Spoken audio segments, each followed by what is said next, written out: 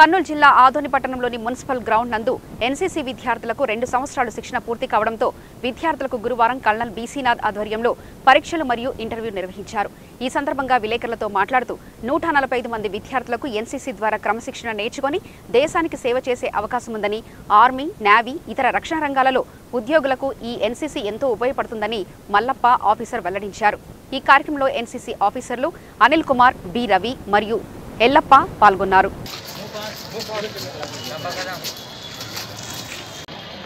ఈ ఎన్సీసీ పిల్లలకు మనము మోటివేట్ చేసి నేర్పించడం ద్వారా క్రమశిక్షణతో ఒక సిస్టమేటిక్ అయిన ట్రైనింగ్ ఇవ్వడం ద్వారా వాళ్ళు ఫ్యూచర్లో వాళ్ళు ఆర్మీలో చేరడానికి అవకాశం ఉంటుంది.